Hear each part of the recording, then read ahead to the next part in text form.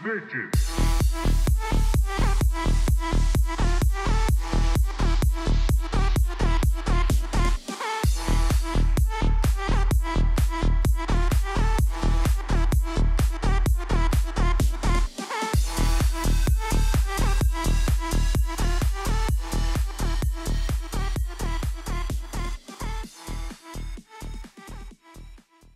tutorial on how to find the key of any sample that you have. So just load up any sample that you got.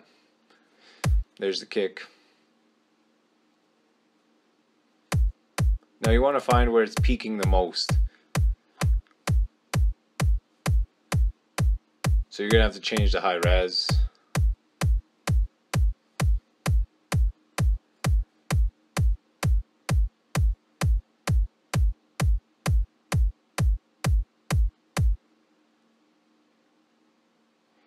There you could see it was holding around the G major.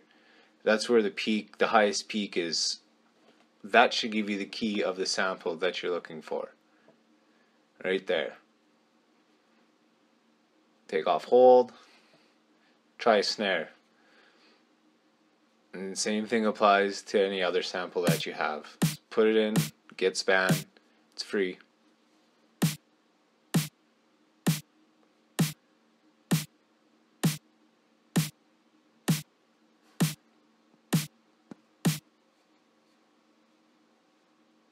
Find where it's peaking the highest. Hit hold if you have to on span itself. There we see D major, D3. That should give you the sample, the key of your sample.